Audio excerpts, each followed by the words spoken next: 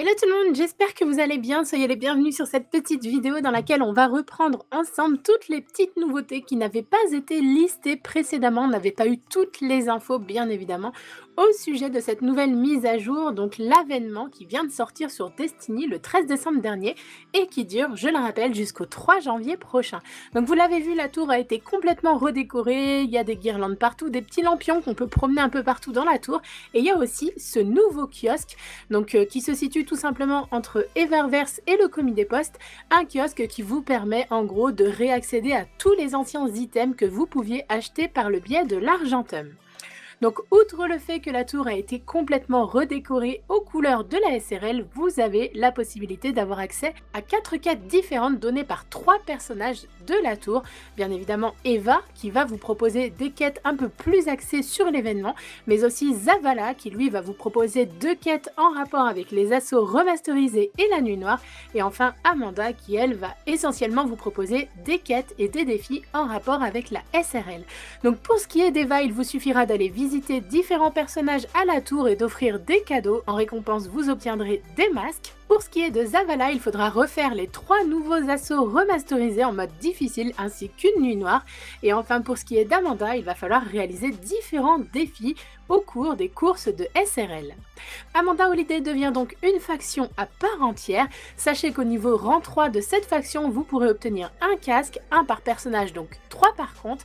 Et même chose, rang 5, vous pourrez obtenir un trésor de l'avènement. Il y aura également un petit changement au niveau des contrats de l'épreuve, puisque cette fois-ci, vous ne pourrez plus les réaliser en mode SRL. Donc vous l'avez vu, on a parlé des trésors de l'avènement. On va faire une rapide review de ce trésor. Donc bien évidemment, comme d'habitude, on retrouve les nouvelles armures de l'événement, qui sont cette fois-ci les armures de l'avènement et de la SRL. Petite précision au passage, sachez que ces armures peuvent être complètement infusées jusqu'au niveau 400 de lumière. Et sachez que si vous êtes full armure de l'avènement, vous pourrez looter un passereau du nom de EV53 ainsi qu'un nouveau revêtement. Dans ces trésors de l'avènement, vous trouverez également bien évidemment tous les ornements des armes exotiques qu'on a déjà vus précédemment, ainsi que de nouveaux passereaux, de nouveaux klaxons et bien évidemment de nouvelles émotes, comme par exemple le dab ou quelques danses assez sympathiques à posséder absolument. On continue, vous savez probablement tous déjà qu'il y a un easter egg qui se trouve sur la tour. On a déjà fait une vidéo précédemment pour vous le présenter, un petit easter egg qui se trouve au niveau d'Amanda Holiday. Et enfin, en ce qui concerne les autres nouveautés, on va faire un petit tour au niveau du récif. Donc l'arène vous propose maintenant de nouveaux contrats afin de monter plus rapidement votre faction de l'ire de l'arène. Et vous pouvez dorénavant échanger directement vos particules de lumière auprès de Frère Vance en l'échange de jetons pour le mode d'Osiris. Et ça, c'est vraiment une très bonne nouvelle. Sachez au passage que vous gagnerez à présent 3 jetons en effectuant le PVP du jour, mais aussi 3 jetons en effectuant celui de la semaine.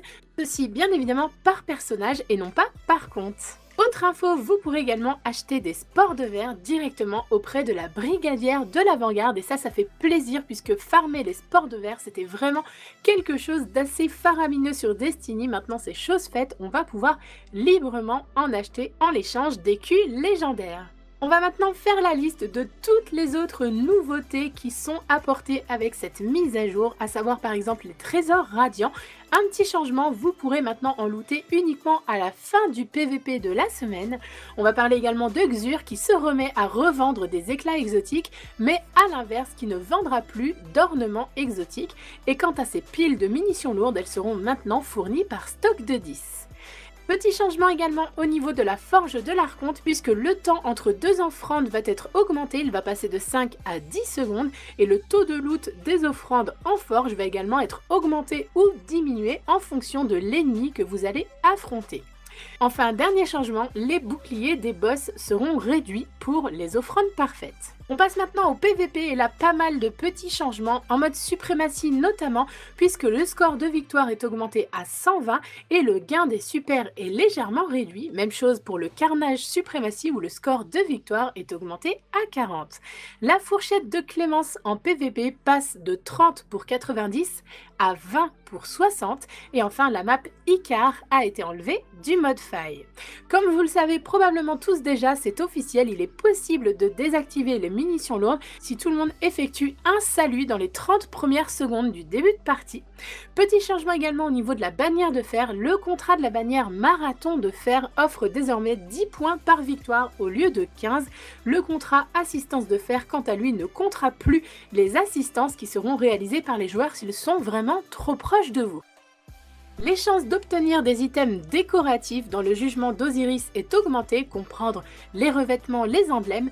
Il a également été corrigé un problème qui empêchait l'obtention d'un revêtement nommé dévotion dans le jugement d'Osiris. Ce même taux de loot des items décoratifs et des artefacts a également été augmenté pour la bannière de fer. Et enfin, sachez qu'il est possible, et ça c'est la petite nouveauté, de looter des items décoratifs à la fin des parties de PVP et de SRL, comme par exemple les coques de spectre garancé, les coques en chocolat, les coques fantômes de la fête des âmes perdues, mais aussi les écus garancés et les revêtements événementiels du type Ispahan et Valentin que l'on a pu voir lors des jours garancés. Autre grande nouvelle, c'est le retour des armes légendaires que vous pouvez looter dans tous les modes PVP, peu importe leur catégorie, les armes de l'an 2 du type Spectre Rouge, Usine à Cendre, mais aussi et surtout Eyas Luna et Lot Plus 1. Et enfin, pour terminer, de nombreux bugs, vous avez pu le voir, ont été corrigés et ça, ça fait du bien. Comme par exemple les bugs de Grimoire, Ephridite, la beauté de la destruction pour le Jalahorn, la Kvostov, ceux qui avaient réalisé la quête mais qui n'avaient pas débloqué le Grimoire. Les cartes de Grimoire de Chardon de l'an 1 et du Jalahorn de l'an 1 sont aussi débuguées. Donc vous pouvez obtenir ces cartes de Grimoire lorsque vous débloquez par exemple les versions année 3 de ces armes.